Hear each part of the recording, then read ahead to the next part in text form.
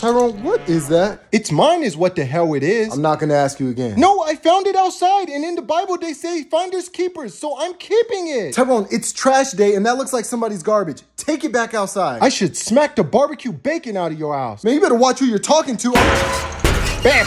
Look what I found outside. They're just giving this stuff away for free.